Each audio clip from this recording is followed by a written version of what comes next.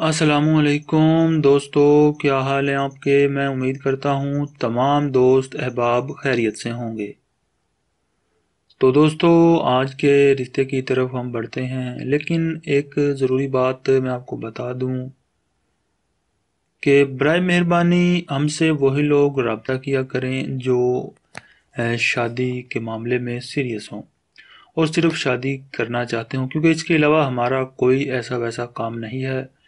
तो बर मेहरबानी महज़ब लोगों वाली बातें किया करें, सिर्फ़ वही लोग रबता किया करें जो सिर्फ़ शादी के मामले में सीरियस हों। इसके अलावा अगर कुछ ऐसा वैसा आप सोच रहे हैं तो हमारा कोई ऐसा वैसा धंधा नहीं है।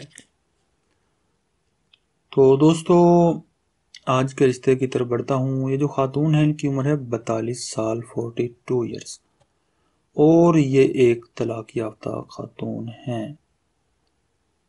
दो साल से कुछ शायद कारसाई हो गया है, शोहर से अलहदा हुए। एक बेटा है जिसकी उम्र सात साल है और वो अपने बाप के पास रहता है।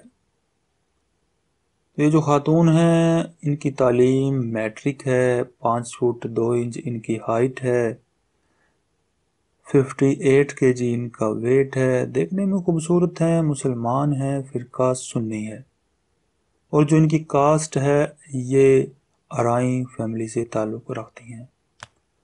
और इस वक्त ये मुल्तान सिटी में रहती हैं, अपने वालदेन के घर पे।